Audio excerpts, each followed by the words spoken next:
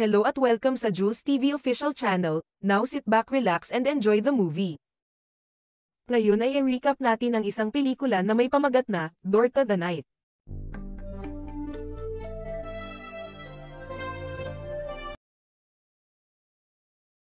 Isang writer ang dumating sa bulwagan ng pagluluksa upang alamin ang kwento ng pagpanaw ng isang matandang mayamang direktor. Ang tanging tao sa bulwagan ay ang katulong ng namatay, si Yon Hua, na kasama niya sa mga huling buwan ng kanyang buhay, at siya lamang ang nakakaalam kung ano ang nangyari. May pagdududa ang writer tungkol sa kanya, lahat ng ari-arian ng pumanaw ay naiwan sa nurse. Bagamat kaunti lang ang pagkakakilala nito sa kanya, kaya umaasa ang lalaki na malaman ang mga detalye. Ang unang bagay na nakakuha ng kanyang atensyon ay ang dahilan ng pagkamatay. Ang katotohanan ay si Chong Sab ay may malubhang karamdaman, at siya ay may anim na buwan na lamang upang mabuhay. Ngunit siya ay nauwi sa pagpanaw ng kailangang ilagay ang kanyang mga kamay sa kanyang sarili. Parang may tumulong sa kanya para umalis sa mundong ito sa lalong madaling panahon. Kinabukasan, dumating ang manunulat sa bahay ni Yon Hua at hiniling sa kanya na ikwento kung paano siya napunta sa bahay na iyon. Ipinapahiwatig niya ang kanyang mga hinala, ngunit ngumiti lamang ito at nagkukunwaring hindi alam kung ano ang kanyang pinag-uusapan. Ilang linggo na ang nakararaan, unang beses na pumunta ang dalaga sa bahay ni Chong Sab. Ang matanda, na may malubhang sakit na direktor ay magaspang at bastos mula sa unang pagkikita. Sinabi niya sa nurse ng detalyado kung ano ang kaakibat ng kanyang mga tungkulin. Hindi nalilimutang banggitin ang labis na hindi nakakatuwang mga bagay, ngunit sumagot ang babae na sa anumang kaso, mananatili siya sa trabahong ito. Wala siyang bahay at walang mapupuntahan. Ang unang tanghalian na ginawa ng katulong para sa kanyang amo, ay lumipad mula sa mabigat nitong kamay patungo sa sahig. Ang lalaki ay bastos sa literal na lahat, nang hindi ipinapaliwanag ang kanyang pag-uugali. Maging ang pagmamasahe ng dalaga sa amo ay inis na inis sa kanya. Nakatulog sa tabi ng kama ng kanyang ward, tumanggap si Yon Hua ng isang basong tubig sa kanyang mukha. Ang direktor ay hindi gustong makipag-usap ng normal, at kumilos ng labis na bastos, na inaakusahan ang nurse ng pagiging tamad. Ngunit ipinagpatuloy ng dalaga ang pag-aalaga sa matanda. Tinutulungan siya sa kanyang mga huling araw at pagtitiis sa sakit ng kanyang karamdaman. Nagsimulang lumabas ng bahay si Chong Sub, isang bagay na matagal na niyang hindi nagagawa. Nagtitipon siya sa isang restaurant kasama ang mga kaibigan, na gumagawa ng mga patag na biro tungkol sa nurse, at pagkatapos ay pinapante rin ng isa sa kanila ang babae sa entablado upang kumanta. Umaasa si Yon Hua sa kanyang amo, umaasang hahayaan niyang hindi niya ito gawin, ngunit umiwas lang ng tingin ang matanda. Ganun na lang ang kanyang pagkagulat nang marinig niya ang kantang laging kinakanta sa kanya ng kanyang asawa. Tinanong ng matanda si Yon Hua kung paano niya nalaman ang himig, at sinabi ng nurse na kinantahan siya ng kanyang nobyo na sa kasamaang palad, ay pumanaw na. Pagkatapos ng hapunan, inaatake ng sakit ang matanda. Hindi siya humihingi ng tulong, ngunit hinihiling lamang sa nurse na planchahin ang kanyang suit. Nang makumplito niya ang gawain, inutusan siya nito na pumunta sa studio at kunin ang isang bagay para sa kanya doon. Si Yon Hua ay pumunta sa bayan ng walang pagdadalawang isip, ngunit nang ibigay sa kanya ng photo studio ang nagdadalamati na larawan, napagtanto niya kung ano ang ginagawa ng kanyang amo at tumakbo siya pauwi. Kung dumating si Yon Hua makalipas ang ilang minuto, wala nang magagawa. Ngunit nagawa niyang alisin ang matanda sa kisame sa huling sandali at ibalik ito sa kanyang katinuan. Ilang sandali pa ay wala pa rin siyang malay, ngunit nagawa siyang ibalik ng nurse sa pamamagitan ng pagbuhos ng tubig sa kanyang bibig. Pinainom ni Yon Hua ang matanda sa pamamagitan ng isang halik.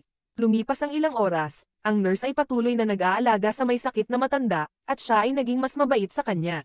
Dumating ang araw ng pagbisita sa doktor, at nalaman ng matanda na ang kanyang tumor ay tumigil sa pag-unlad, na nangangahulugan na hindi siya maaaring mabuhay ng anim na buwan, ngunit anim na taon. Sa kanyang kagalakan, ang matanda ay nagsimulang pumunta sa mga restaurant nang hindi naghihigpit sa kanyang sarili sa anumang bagay. Kumakain at umiinom siya ng mahigpit na ipinagbabawal sa kanya dahil sa sakit. Ang mga pag-atake ay patuloy na nangyayari, ngunit ngayon ay itinatago ito ng matandang lalaki mula sa kanyang nurse, sinusubukang magmukhang bata at malusog. Sa loob ng sasakyan, sinubukang hawakan ng matanda ang kamay ng dalaga, ngunit binawi nito ang kamay nito ng mariin.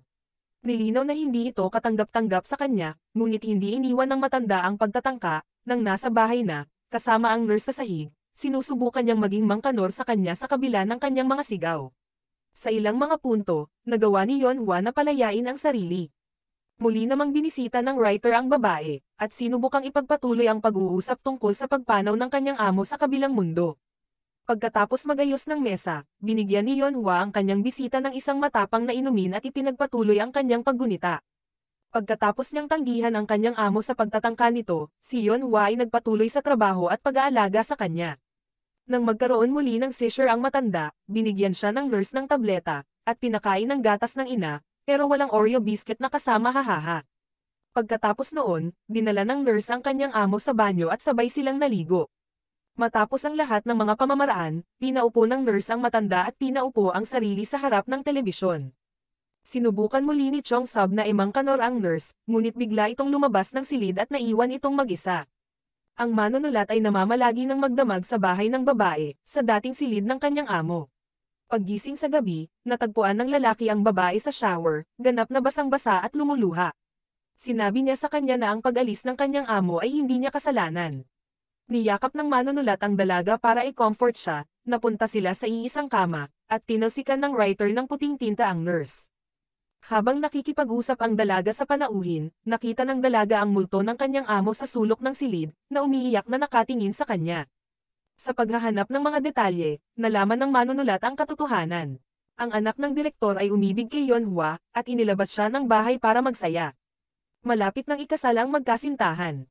Ngunit nang malaman ito, ang ama ay umupa ng mga gangster, na humalili sa pagyurak sa dignidad ng babae sa harap mismo ng kanyang nobyo. Dahil hindi ito makaget over, pumunta ang anak ni Chong Sub sa kalsada, kung saan binawian ng buhay ang isang kotse na walang sapat na oras para bumagal. Ang babae ay nag-apply ng trabaho sa direktor upang palibutan siya ng pangangalaga at init. At kapag ang matanda ay umibig sa kanya, upang saktan siya, gaya ng pananakit niya sa kanya at sa kanyang anak na pumanaw. Gayun din, nalaman ng manunulat na ang matapang na inuming ibinigay sa kanya ng host, na palagi ang ibinibigay ni Yonhua sa matanda, ay tinatawag na pinto sa gabi, at idinisenyo upang mahikayat ang pisikal na atraksyon. Ngunit bumalik tayo sa mga alaala ng nurse. Isang araw, nang makatulog siya sa sofa sa sala, nilagyan ni Chong Sub ng singsing ang kanyang daliri. Hindi na tinatago ng matanda ang katotohanang na-inlove siya sa nurse. Kahit na nagkaroon ulit siya ng seizure, sa magulo niyang banyo, ipinagtapat niya ang pagmamahal niya sa dalaga. Inaalay ng direktor sa nurse ang lahat ng mayroon siya. Ang bahay, ang pera, at ang lahat ng ipon. Yun ay kung mananatili lang siya, at mabait pa rin sa kanya. Ngunit si Yonhua ay nagtapat sa lalaki kung sino talaga siya. Na siya ay dumating upang magtrabaho para sa kanya upang magdulot sa kanya ng matinding sakit sa puso. Hiniling ng matanda sa nurse na linisan siya at plansyahin muli ang kanyang suit. Sa pagkakataong ito, naiintindihan agad ng nurse kung saan ito patungo, ngunit hindi na niya pipigilan pa ang matanda. Pagkakulong sa kanyang silid, narinig ng nurse ang pagbagsak ng upuan sa sala.